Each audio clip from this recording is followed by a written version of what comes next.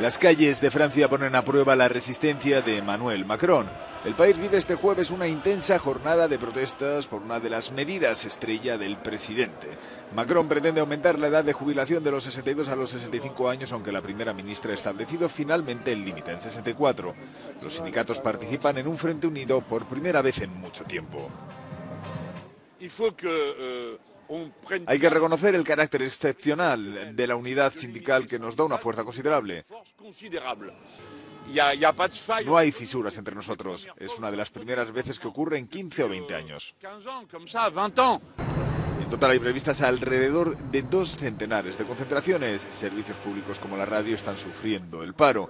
En el sector de la educación, los sindicatos calculan un seguimiento de alrededor del 70%. En pocos días el proyecto será presentado ante el Consejo de Ministros. El Gobierno está tratando de defenderlo ante la ciudadanía.